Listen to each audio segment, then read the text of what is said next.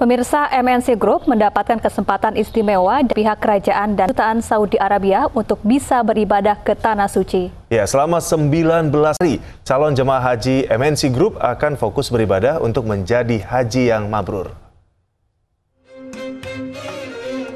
Tahun ini Chairman MNC Group melepas keberangkatan karyawan MNC Media untuk pergi haji ke Tanah Suci atas undangan kerajaan dan kedutaan Saudi Arabia kepada MNC Group.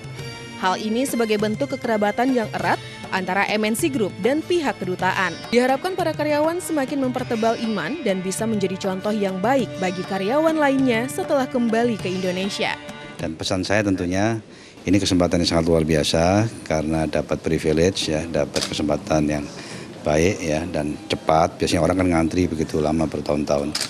Dan tentunya manutkan kesempatan ini dengan sebaik-baiknya. Selamat beribadah dan pulang menjadi haji yang mabrur dan memberikan contoh kepada kawan-kawan yang lain di MNC Group. Kan saya selalu mengatakan uh, the best leader is lead by example. Jadi bisa memberikan contoh kepada anak buahnya. Apalagi didaksi kita itu kan jumlahnya kan besar ada 2000 orang total ya kalau di jumlah TV, ada online, ada ada radio, ada sosial media. Jadi mereka bisa menjadi panutan bagi anak buahnya.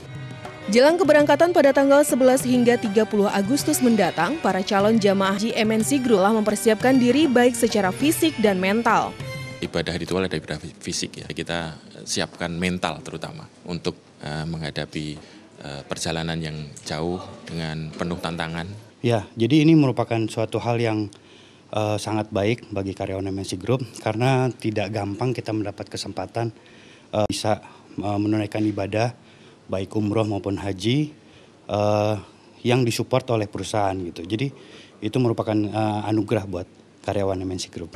Tidak hanya memfasilitasi karyawan muslim untuk beribadah haji dan umroh saja, MNC Group juga rutin memberangkatkan karyawan Nasrani berangkat Holy Land.